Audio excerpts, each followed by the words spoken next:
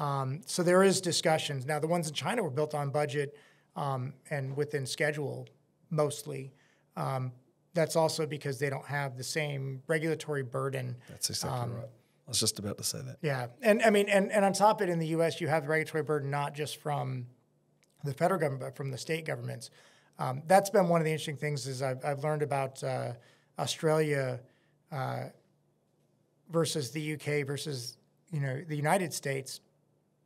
Is that Australia is almost more in line with the U.S. because of federation, where West Australia has its own regulations. Well, guess what? If I'm you know transporting you know say uh, radioactive waste from you know Virginia out to Texas for disposition, I have to meet the, the Department of Transportation regulations for the United States government, plus Virginia, plus every state it moves through, plus Texas, Yep. right? And so that provides an additional challenge. Now there is some benefit of being a state, of being a nation with 50 states, is that if there is a state that that's not viable on, I can maneuver up around it or down below it, depending on how you want to do it.